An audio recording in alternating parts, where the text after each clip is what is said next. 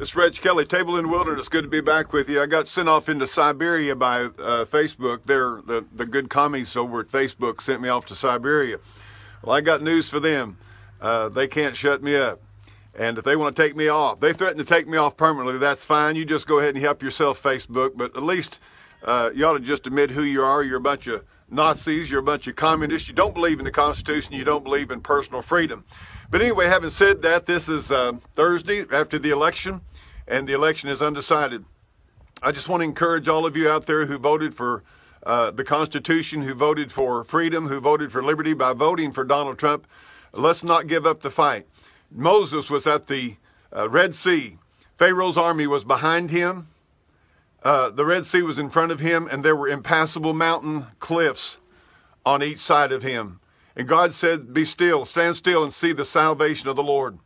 I'm thinking when Hezekiah was surrounded, Jerusalem was surrounded by the Assyrians, and they mocked him and made fun and said, Send out soldiers if you can win. Hezekiah took it and spread it before the Lord, and uh, God sent an angel in.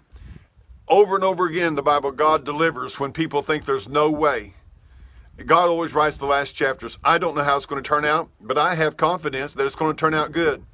I know that our trust is in the Lord Jesus Christ, but I think we ought to fight and for those of you super spirituals out there who don't like Donald Trump and there's issues about him that you don't agree with, well, you know what? You and you didn't vote. Yeah, you did vote. You voted for Joe Biden. You voted for the murder of babies. So don't give me your super spiritual stuff about how you can't take uh, Donald Trump because uh, he doesn't have the stand on queers that you'd like to have. Yeah, I don't, I don't agree with him on everything either, but I can tell you this about he's a million miles ahead of Joe Biden.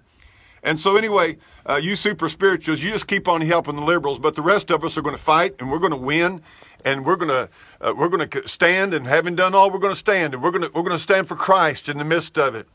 But uh, we live in a cursed world, a sin cursed world. Everything's not going to be just like you and I want it. But we do look forward to the day when Jesus Christ is ruling and reigning on this earth.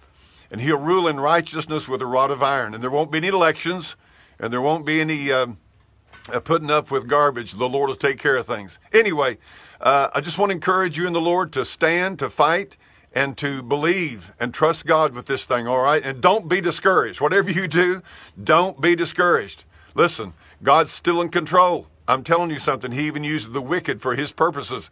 And so trust in the Lord, all right? This is Reg Kelly. Good to see you all again. And I hope that you'll have a great day and pray and seek the Lord and walk with God and uh, let's see God win this thing for us, all right? Until next time, so long. Take care of yourself.